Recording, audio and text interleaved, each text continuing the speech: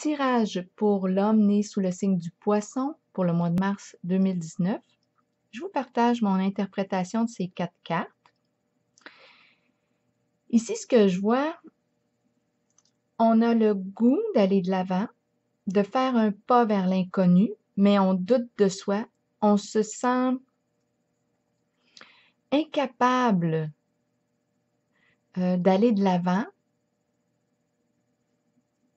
L'élan créateur est là, mais quelque chose l'empêche de circuler. Ce que je vois ici, on me présente l'insécurité au niveau financier. On a peur de manquer d'argent. C'est ce qui empêche, c'est ce qui vous empêche, c'est ce qui freine votre élan créateur, qui l'empêche de s'exprimer librement, l'insécurité financière.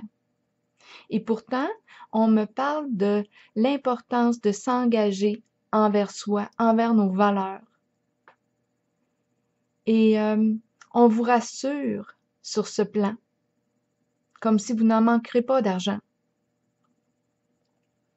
On vous invite à prendre le temps de bien évaluer la situation, de chercher des conseils, de regarder, de vous faire un plan.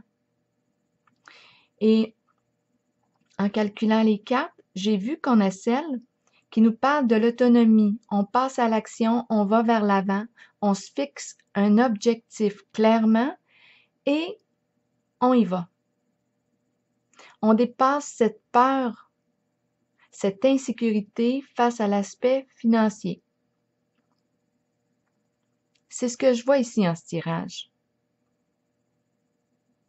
On fait un saut, un premier pas vers l'inconnu avec confiance.